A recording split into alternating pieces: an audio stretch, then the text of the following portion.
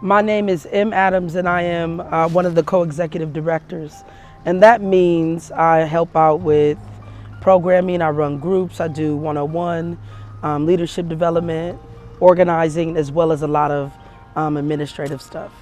My name is Alex Shabazz. I'm currently a volunteer at Freedom Inc., um, but I'm a former staff um, at Freedom Inc. Youth Coordinator.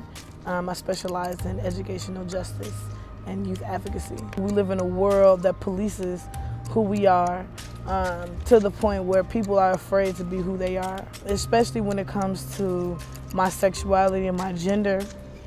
Um, there are a lot of things that say that there's something wrong with that. But I feel like free to be me means that I can be all of who I am, and that's okay. Free to be me means that I have the human right to be all of who I am, and for that to be loved and respected and also have dignity.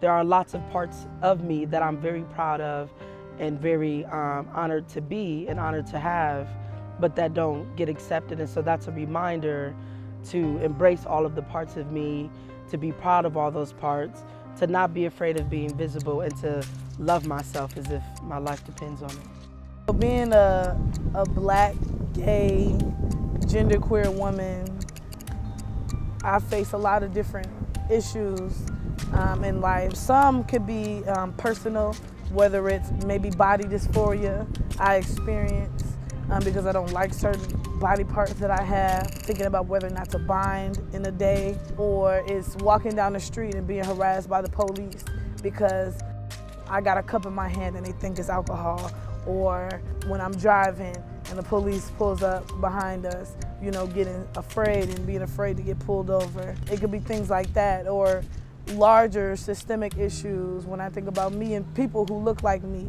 and people who live where I live, you know, how I don't have access to resources that would give me a better life. It was important for me to be in a poster because I'm a stud and I don't see a lot of studs um, on posters, in movies, on TV, anything like that.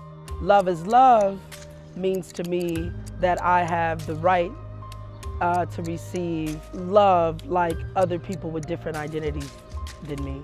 In a sense, sometimes people are surprised by how I wear those identities, how I show those identities. Any type of love is okay.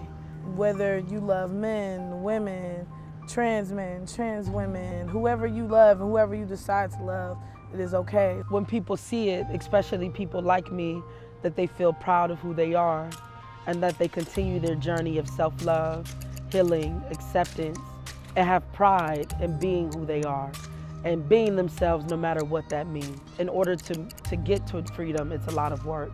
And so I hope that whoever sees it, that it stands out to them as no matter what, I'm gonna do the work to free myself.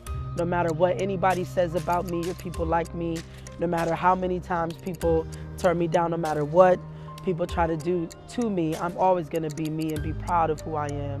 And I'm not gonna be ashamed of who I am for anybody. In a world and in a society that says that it's not okay to be genderqueer, that there's something wrong with being black, that women are less than, that you are still free to be you. And the act of being just you is revolutionary.